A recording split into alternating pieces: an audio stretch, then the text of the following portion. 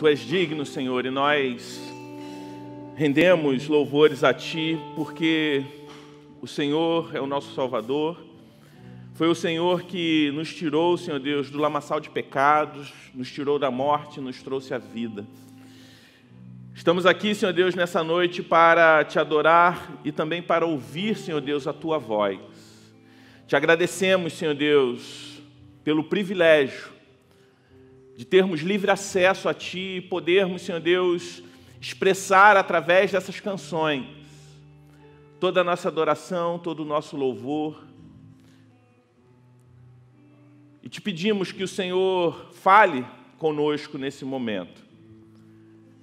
E é no nome precioso de Jesus Cristo que nós oramos. Amém. Você pode se assentar.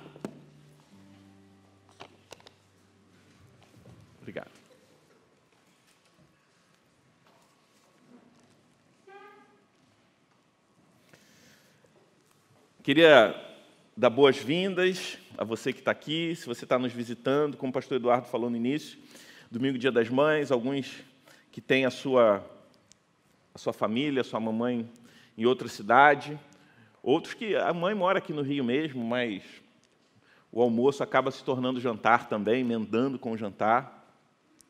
Mas a gente agradece a Deus pela vida de cada um que veio e a gente gostaria de expressar o nosso contentamento, a nossa alegria por você estar aqui. Hoje a gente começa uma nova série de mensagens. E essa série de mensagens tem como título Lições do Mestre. Uma série de mensagens nas parábolas de Jesus. E as parábolas eram histórias que o Senhor Jesus contava. Talvez você já tenha é, escutado sobre elas, você provavelmente, se você é um cristão, conhece algumas, pelo menos algumas dessas parábolas. E geralmente você escuta que parábolas eram histórias contadas por Jesus para trazer a realidade é, de forma prática, uma realidade espiritual. Para exemplificar de forma prática uma realidade espiritual. E, de fato, essa era uma das finalidades das parábolas. Ilustrar uma realidade espiritual, trazer essa realidade para a compreensão é, dos seus ouvintes. Jesus fazia isso regularmente na sua comunicação, não só nas parábolas, mas com pequenas ilustrações. Diante de pescadores, ele falava sobre a realidade da pesca com pessoas que viviam em um sistema onde a agricultura, por exemplo, predominava como sistema, como atividade econômica, ele falava sobre plantação. O Senhor Jesus ele usava elementos do cotidiano para facilitar o entendimento dos seus ouvintes. Jesus, ele era alguém que contextualizava bastante a sua mensagem. E as parábolas, em, em alguns momentos, tinham essa finalidade de contextualizar a comunicação. Essa era uma das formas de Jesus se comunicar. Ele usava histórias. Às vezes, histórias que ele inventava para é, criar uma ilustração, ou até mesmo poderiam ser histórias frutos, fruto do seu é, do seu cotidiano, de situações que ele presenciou pessoalmente. Mas a parábola não tinha somente esse objetivo, porque em alguns episódios nós vemos é, essas histórias que Jesus contava cumprindo um papel quase que o contrário desse papel que eu citei anteriormente. Se em alguns momentos elas vinham para facilitar, em outros, como por exemplo em Mateus 13, versículo 10 ao 15, nós vemos Jesus de alguma forma trazendo histórias que confundiam o entendimento de alguns. As parábolas, elas esclareciam a verdade para aqueles que eram crentes, ao passo que para outros que rejeitavam a Cristo e não davam ouvidos ao evangelho, as parábolas tinham um efeito contrário no entendimento da verdade. As metáforas presentes nas parábolas, nessa situação, escondiam verdades para aqueles que não desejavam procurar o real significado daquilo que Jesus estava tentando ensinar. E Jesus ele contou muitas parábolas. Então os ensinos de Jesus a partir dessas histórias, elas tinham um propósito duplo. Em algumas situações escondiam as verdades aos incrédulos e aos infiéis, e em, outros, em outras situações elas facilitavam o entendimento de, dos ouvintes ali presentes. Quando Jesus usava a parábola para esconder alguma realidade para os incrédulos, ele fazia isso em situações onde ele queria transmitir uma mensagem específica para os crentes, mas em uma plateia diversa ele usava esse artifício sabendo que somente aqueles que discerniam as coisas espirituais iriam compreender realmente o que ele estava querendo dizer. Nessa série, o nosso objetivo é refletir, a partir de algumas, e não de todas, pelo menos é, nesse mês, parábolas que Jesus contou.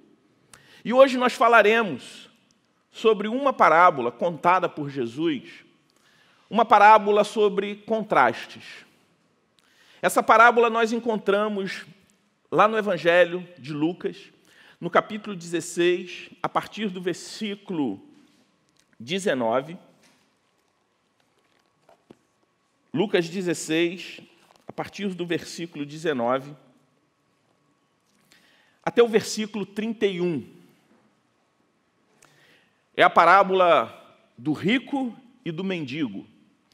Em algumas traduções vai estar a parábola do rico e de Lázaro.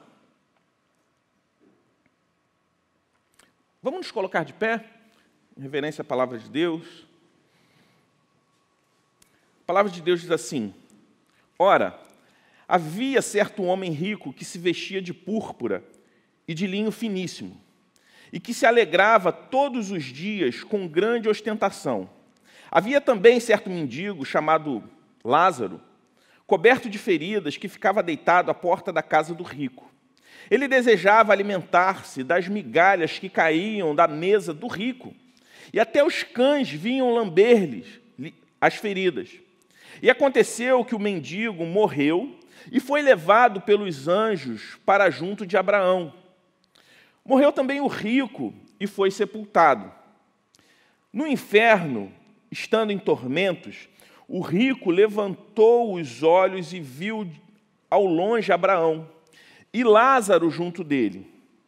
Então, gritando, disse: Pai Abraão, tenha misericórdia de mim e mande que Lázaro molhe a ponta do dedo em água e me refresque a língua, porque estou atormentado neste fogo. Mas Abraão disse: Lembre-se de que você recebeu os seus bens durante a sua vida. Enquanto Lázaro só teve males. Agora, porém, ele está consolado aqui, enquanto você está em tormentos. E, além de tudo, há um grande abismo entre nós. E você, deste modo, que os que querem passar daqui até você não podem, nem os de lá para cá.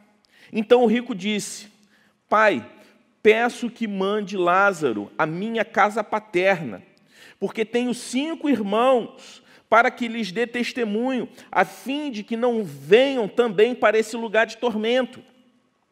Abraão respondeu: Eles têm Moisés e os profetas, ouçam-nos. Mas ele insistiu: Não, pai Abraão, se você dentre os mortos for até lá, eles irão se arrepender. Abraão, porém, lhe respondeu: Se não ouvem Moisés e os profetas, também não se deixarão convencer, mesmo que ressuscite alguém dentre os mortos.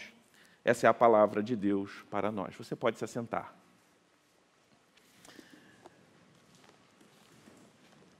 essa é uma daquelas parábolas que Jesus cria uma história para trazer uma realidade espiritual aos seus ouvintes. Jesus não está narrando um fato que estava acontecendo, mas está criando uma história para facilitar o entendimento dos seus ouvintes a respeito da eternidade. Essa história fala de contrastes de um homem muito rico e de um homem muito pobre. Alguém que estava em um extremo da pirâmide social e o outro que estava na outra ponta. Interessante observarmos que a gente saiu de uma série falando sobre a relação entre o cristão e o dinheiro, e a gente vê Jesus aqui repudiando o uso, a idolatria às riquezas. O rico ele não foi condenado por ser rico e nem o pobre foi salvo por ser pobre. O que Jesus está falando aqui é que a condição social não determinou a eternidade de cada um. O problema no rico e no pobre era o coração, independente da condição social que eles desfrutaram aqui na terra. É interessante a gente ver também que, além de contraste, essa parábola fala sobre perdas. Essa parábola também é interessante que fala de um Jesus diferente de um Jesus que tentam construir nos dias de hoje. Hoje nós vivemos em um tempo da hipergraça, onde pintam Jesus apenas como um cara legal que veio trazer uma mensagem de amor e fraternidade. Jesus, de fato, trouxe uma mensagem de amor e fraternidade. Mas os pregadores da hipergraça, que negam a realidade da morte eterna, cancelam o Jesus que conta uma história de sofrimento no inferno, de desespero, de condenação. Jesus amou sem negligenciar a verdade. Jesus contou a boa notícia sem negligenciar a má notícia.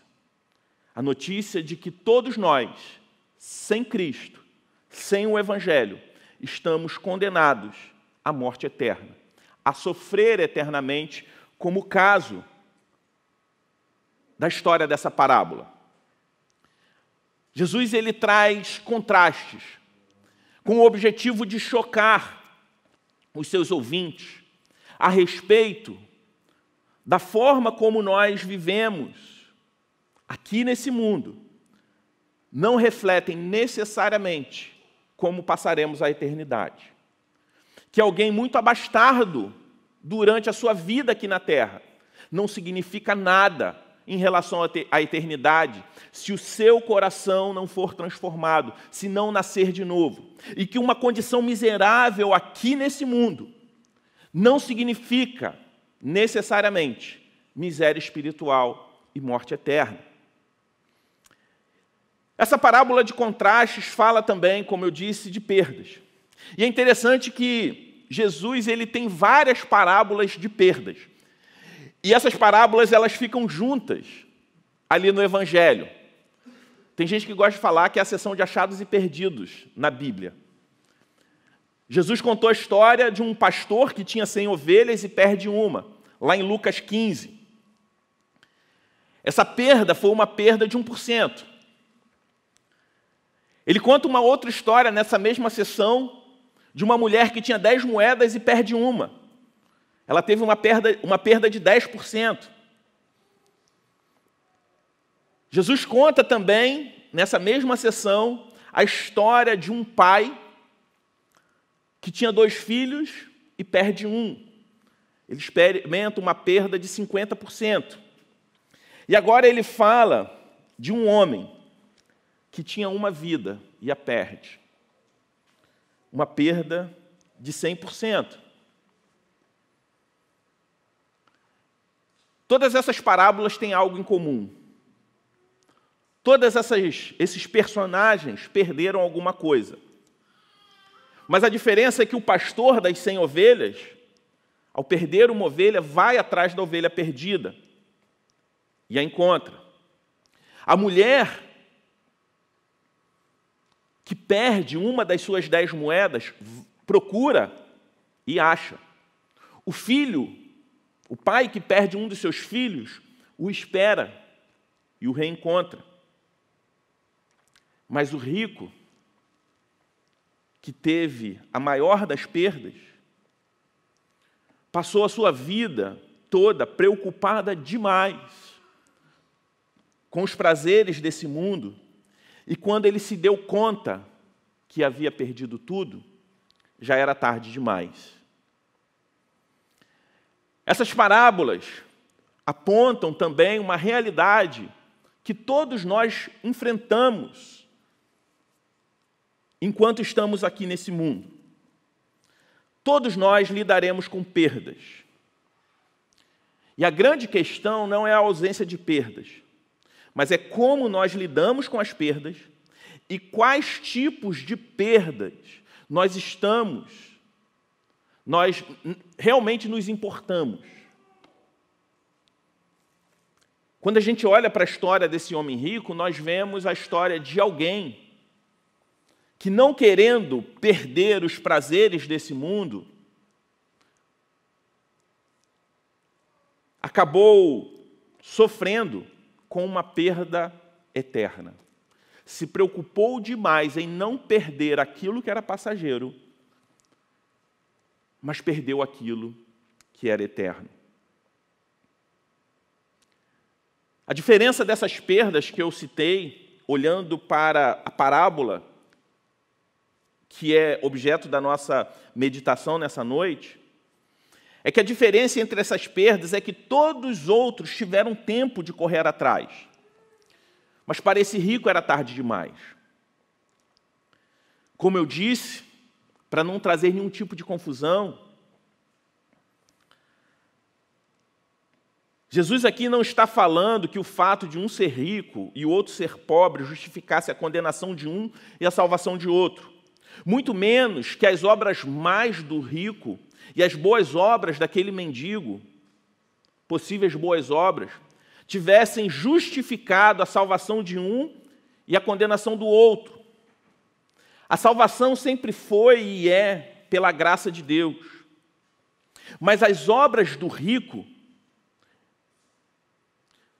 elas revelavam uma condição do seu coração, como estava a sua relação com Deus.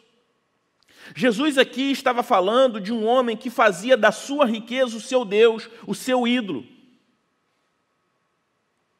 Jesus aqui estava falando que quem nós fazemos, ou aquilo que nós fazemos, ou elegemos como Deus da nossa vida, seja o dinheiro, seja o sexo, seja o poder,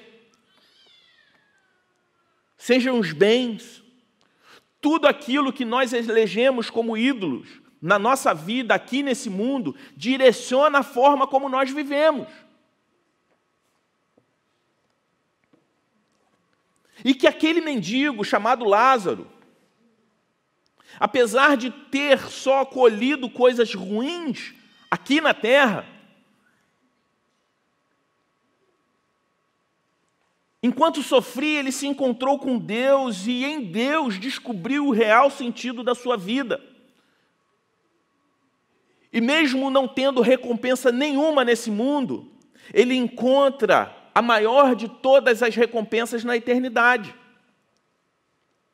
E quando a gente olha para essa parábola, nós podemos ver que a forma como nós vivemos nesse mundo revela aonde está o nosso coração e qual é a nossa perspectiva em relação à eternidade.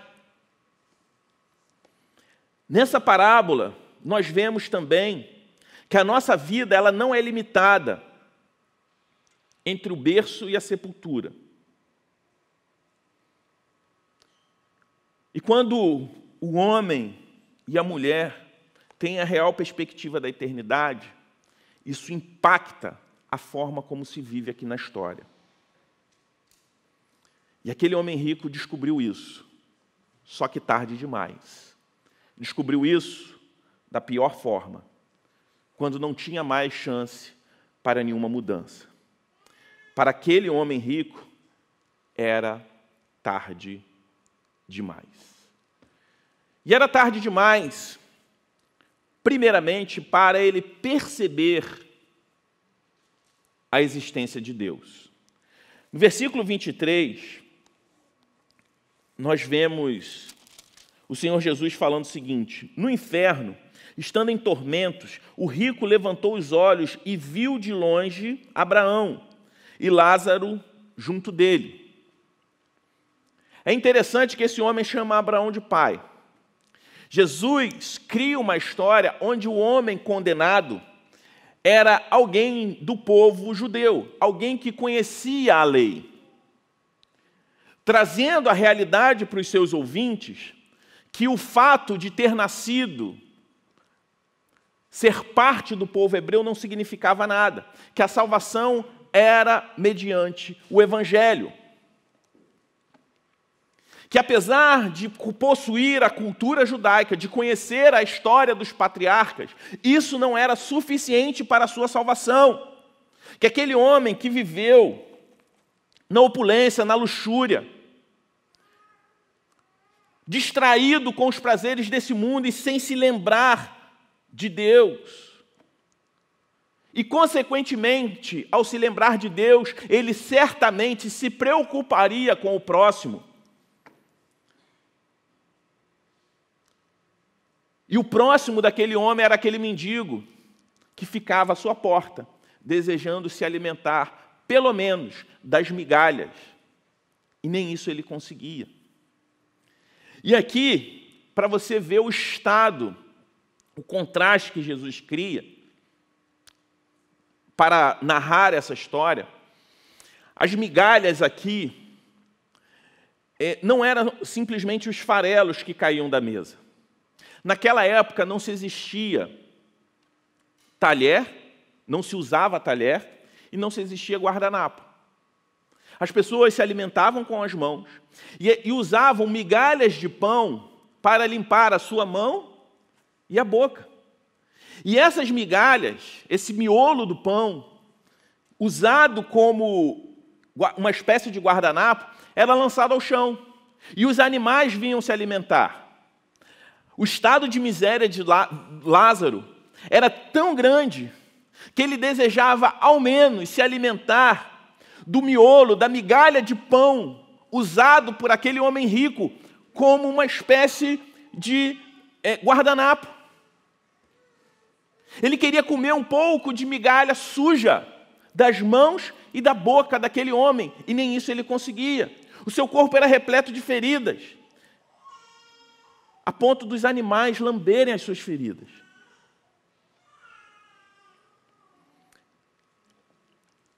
Aquele homem rico, ele estava preocupado demais com os prazeres desse mundo, que não se preocupou em exercer misericórdia. E por que ele não se preocupou? Porque ele não conhecia a misericórdia de Deus.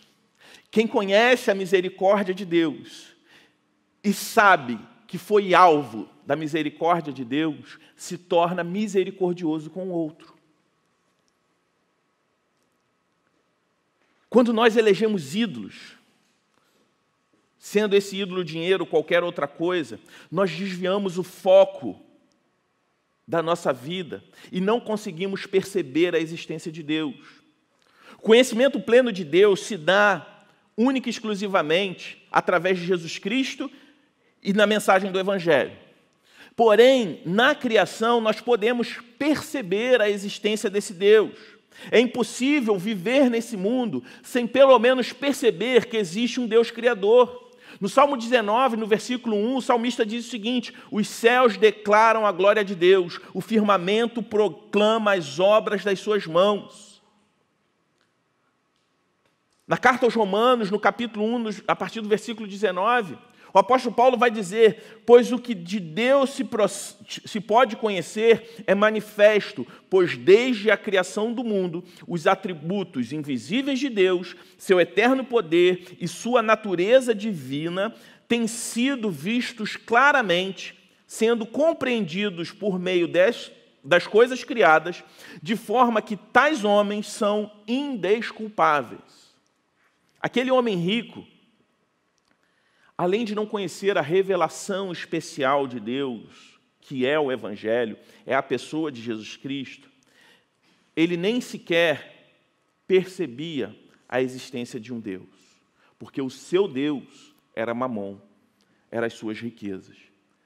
Só que quando ele percebeu a existência de um Deus criador, que o Deus, o único e verdadeiro Deus, não eram suas riquezas, já era tarde demais.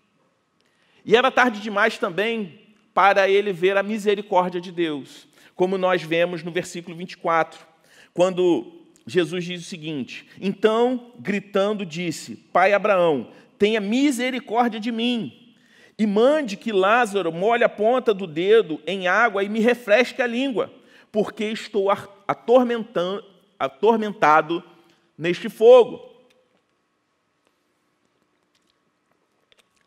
Toda pessoa materialista não consegue entender que até mesmo a sua riqueza é fruto da misericórdia de Deus. O discípulo de Jesus entende que tudo que tem é fruto da misericórdia de Deus. Todas as coisas que podem, inclusive, nos proporcionar todo tipo de prazer neste mundo, é fruto da misericórdia de Deus. Logo, eu não tenho autorização para usufruir de nenhum prazer desse mundo fora dos padrão, padrões estabelecidos por Deus em Sua palavra. Porque tudo de bom que podemos desfrutar no mundo é fruto da misericórdia de Deus. A mente materialista, o idólatra, ele não consegue ver que até mesmo alguma coisa boa que ele acabou distorcendo e transformando aquilo em ídolo. É fruto da misericórdia de Deus, logo não pode tomar o lugar de Deus. E até mesmo a riqueza, se aquele homem era rico, era porque Deus havia sido misericordioso com ele. É impossível viver neste mundo sem perceber a misericórdia de Deus, a não ser que a gente se torne um idólatra. A vida, o ar que respiramos, é fruto da misericórdia de Deus. A palavra de Deus diz que a causa de estarmos vivos, de não sermos consumidos, é porque as misericórdias de Deus se renovam a cada manhã. Até mesmo aquele homem pobre, mesmo sofrendo tudo de pior em sua vida, ele também foi alvo da misericórdia de Deus. Porque, pelo simples fato de respirar, era porque Deus havia exercido misericórdia naquela manhã. Por isso, o cristão, tendo muito ou tendo pouco, ele sempre vai enxergar a misericórdia de Deus. Mesmo sofrendo, mesmo tendo uma vida de sérias restrições, como era o caso do Lázaro, ele conseguia enxergar misericórdia. Por isso, a gratidão, o contentamento é uma marca de um cristão autêntico. Porque sabe que, pelo simples fato de acordar pela manhã, isso só foi possível porque Deus exerceu misericórdia. Quando percebemos a misericórdia de Deus, isso deve nos levar, primeiramente, em adoração a Deus. Por isso, para um cristão autêntico, o domingo, o dia do Senhor, é o ponto alto da semana. Por isso, para um cristão autêntico, toda semana, regularmente, ele precisa se ajuntar aos seus irmãos para adorar a Deus e ouvir a voz de Deus a partir da palavra. Por quê? porque sabe que foi alvo da misericórdia de Deus, e a misericórdia, esse entendimento da misericórdia de Deus me leva em adoração a Deus e, consequentemente, nos leva a viver de forma piedosa, exercendo misericórdia pelos outros. Mas para aquele homem rico era tarde demais para ele compreender a misericórdia de Deus. Ele clama por misericórdia quando não havia mais tempo para mudar. Era tarde demais também para ele se preocupar com sua família. O texto diz, lá nos versículos 27 e 28, que ele pede a Abraão que fale com os seus familiares. Olha, avisa para eles: o inferno existe, a morte eterna existe, se arrependam. E é interessante que Jesus ele fala o seguinte: se ele não conseguiu ouvir os profetas e a Moisés, Jesus aqui ele está fazendo uma referência à Bíblia daquela época, ao Antigo Testamento, que já revelavam a respeito do Salvador que viria. Jesus, ele aqui não está falando de uma materialização. Nessa época, Moisés e os profetas já estavam mortos. Como ele estava falando para uma audiência de judeus, de hebreus, Jesus estava falando: olhem para as sagradas letras e compreendam a salvação ali. Se você não consegue se render a Deus, tendo acesso à revelação de Deus a partir da Sua palavra, nem mesmo que alguém ressuscite dos mortos. Você vai conseguir, você vai se render. E às vezes a gente fica achando que é preciso, é preciso acréscimos, a palavra, outras coisas além da palavra de Deus para gerar arrependimento. E Jesus está falando o seguinte: nem mesmo a ressurreição de um morto é capaz de transformar um coração, porque o poder de Deus está na palavra. É a partir da palavra que somos confrontados, que somos convertidos, que somos transformados. Jesus aqui ele está evidenciando a autoridade da palavra de Deus para a salvação de perdidos, de pecadores. Jesus fala, depois de morto, não tem mais o que fazer por você, nem mesmo pela sua família que ficou. Aquele homem se preocupou tarde demais.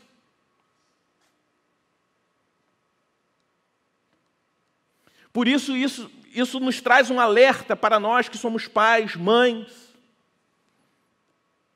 a respeito da preocupação principal de ensinar a palavra de Deus e o Evangelho para os nossos filhos. Essa é uma tarefa que nós temos. O pastor Francis Shen, em um dos seus livros sobre família e casamento, ele diz: O que te deixaria mais triste?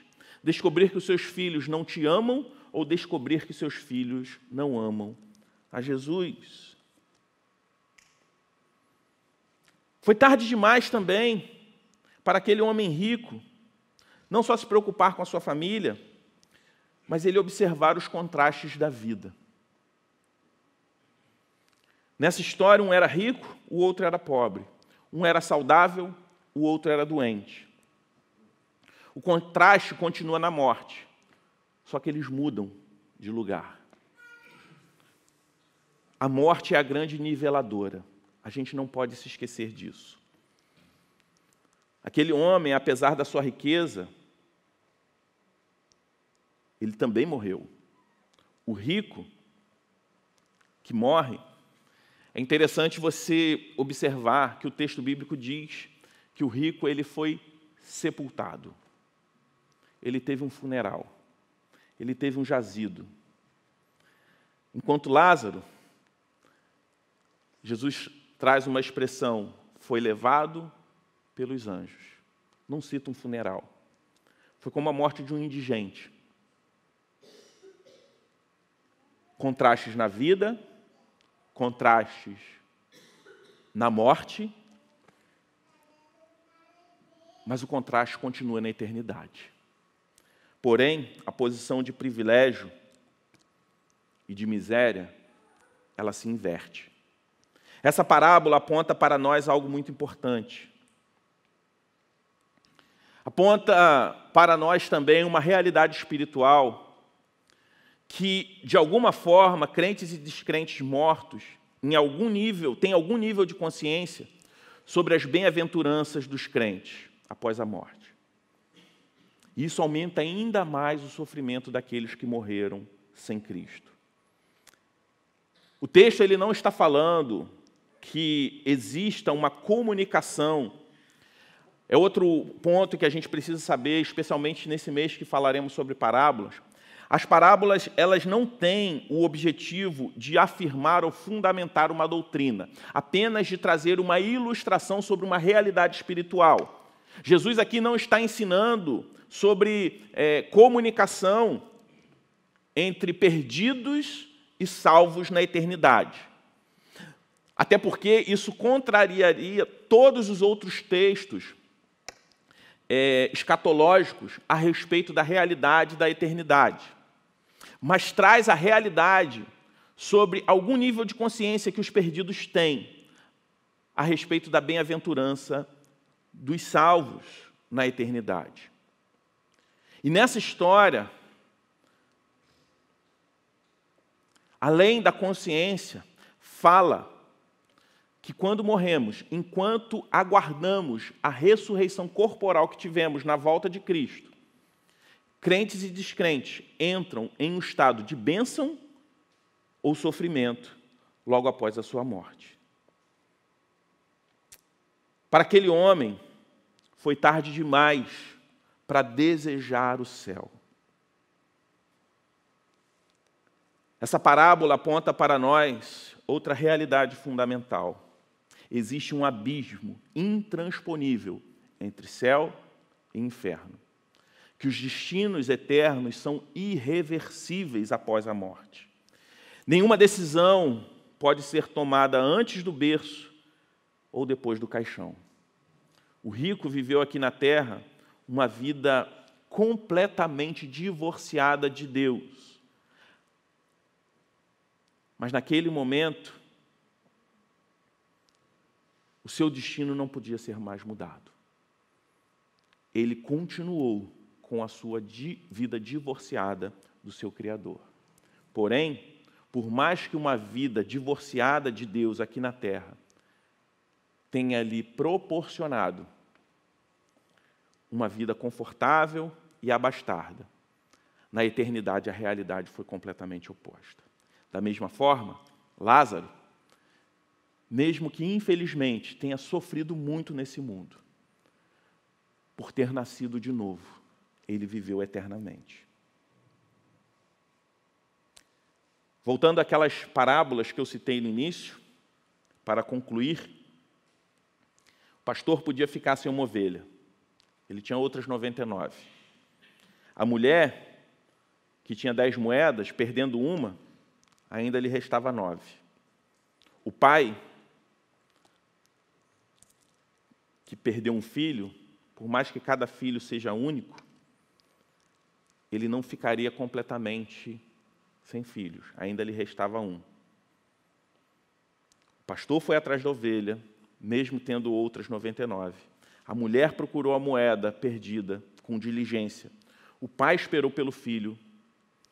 Mas o único que não poderia viver despreocupado, como se tivesse mais de uma vida, deixou para se preocupar com a sua eternidade fora do tempo quando já era tarde demais.